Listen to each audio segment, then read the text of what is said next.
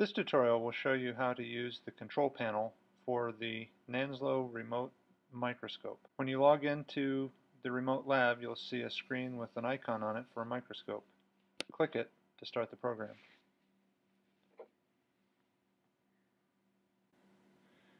This window may, may open behind another one, so you might have to look for it. But this is the control panel for the microscope. What we see here on the left side of the screen are the controls for the microscope stage itself,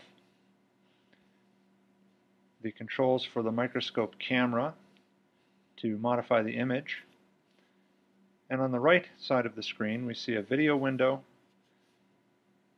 and controls for an external pan tilt zoom camera which we'll look at in a minute. The first thing you'll probably want to do is to call into the voice conference, which will allow you to talk to your lab partners and to the lab techs who are there in the lab to assist you. To join the voice conference, click on this yellow button that's at the bottom of the page. You might need to scroll down to see it. This pop-up window will give you all the instructions you need to join the voice conference.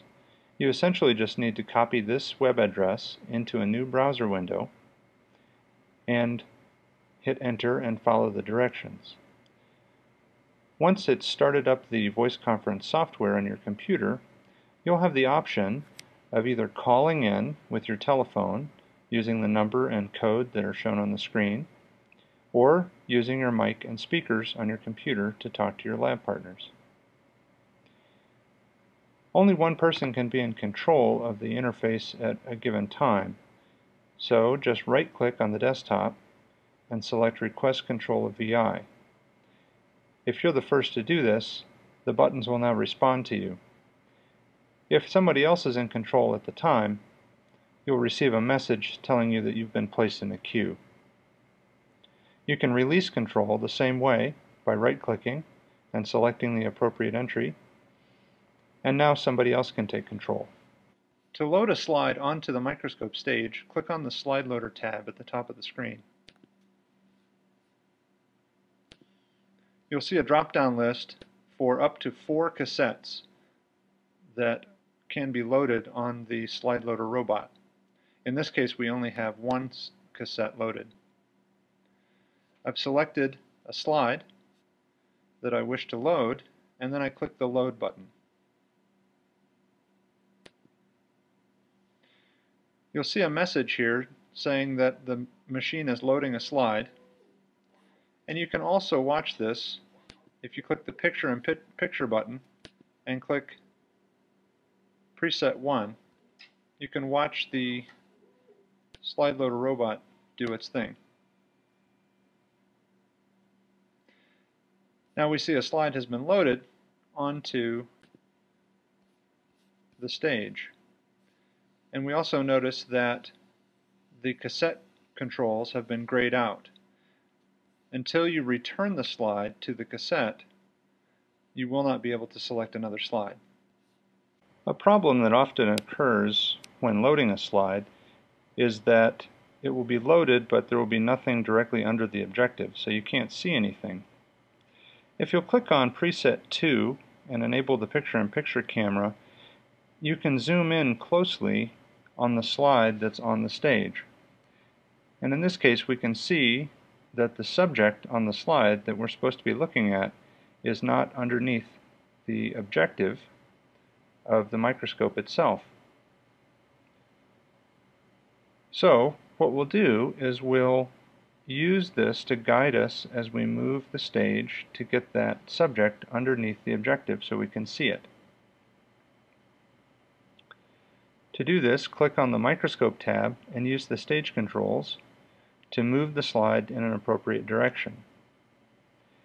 One note here is that the edge of the cover slip often seems very interesting to students, but it really isn't something to be concerned about. It's just the edge of the little piece of glass that's covering the sample.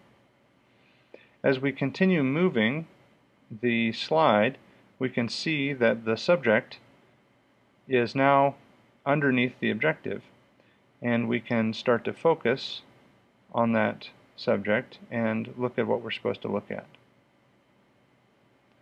Use the up and down arrows to focus and you can change the focus control from coarse to fine by clicking on the button in between the up and down buttons. In this part of the control panel we can change the objective. Currently we're using a 4x objective giving us 40 times magnification.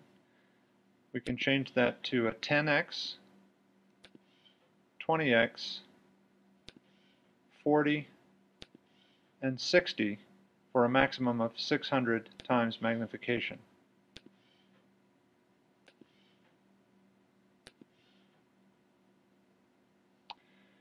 The condenser can be controlled with this button here. For the 4x objective, you want the condenser out as it is. But for 10x and higher, it's best to have the condenser in. This just sharpens the image and gives better contrast and better color.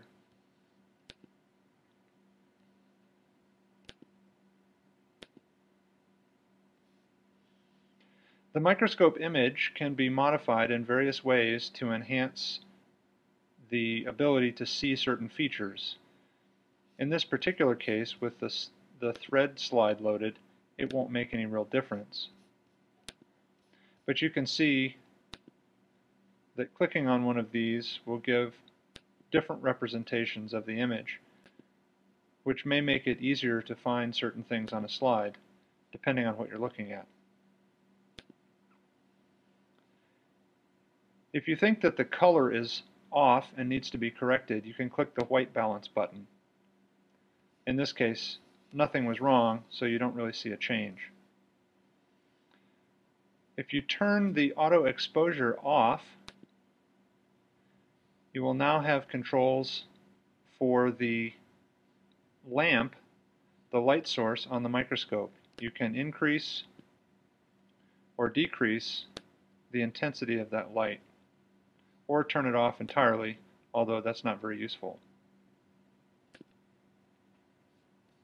Usually it's best to leave auto exposure on. Once you've found something that you want to save an image of, click the Captured Image button here. When the button turns dark again, that means the image has been captured, and you can view it by clicking View Captured Image. Once an image is captured, all lab partners who are viewing the same control panel can view the image simultaneously. Viewing the image this way gives you a much higher quality picture to look at. So you should use this to do any analysis on any slides that you're viewing. Of course, to analyze the image, you'll need to download it and save it on your computer. You can do this by right-clicking anywhere on the image and selecting Save Image As. Then you'll get a dialog box that pops up and you want to select Computer and then select your local disk. Once you've done that, find a location where you'd like to save the file and remember where it is so you can find it later. You also want to change the file name to something descriptive. If this doesn't work for you for some reason, you can alternatively take a screenshot of the image. There are several ways to do this depending on what kind of computer you have. Here are some ways to take screenshots with a Windows computer.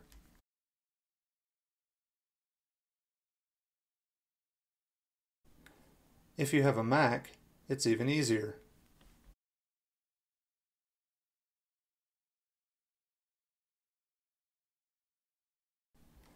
And if you'd like some other options, there are plenty of free screenshot applications that you can download. When you're finished viewing the high resolution image and have saved it, you can close the window. Going back to the picture-in-picture -picture camera, if we turn it on, we can see what's happening in the lab in real time. Hovering over the preset position buttons will show you what each of the presets is set to. For example, we can click on preset 2 to zoom in on the objectives. And when we change objectives, we see them change in the picture-in-picture -picture camera. We can also watch the slide loader robot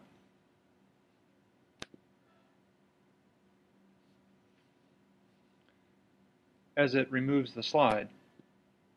In some cases, you may want to move the camera manually to get a better frame to see what you're looking at. You can also zoom in or zoom out as you wish. When you're finished with the slide, go back to the Slide Loader tab and click Return Slide to Cassette. Notice the message to wait while the robot is busy, and you can also watch it in the picture-in-picture -picture camera.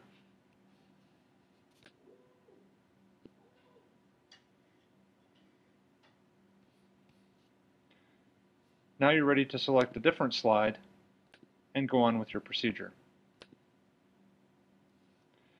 When you're finished, or when you want to pass control to a lab partner, right-click anywhere on the screen and select Release Control of VI. Now someone else can take control. Don't forget to call into the voice conference because otherwise you won't know what your lab partners are doing.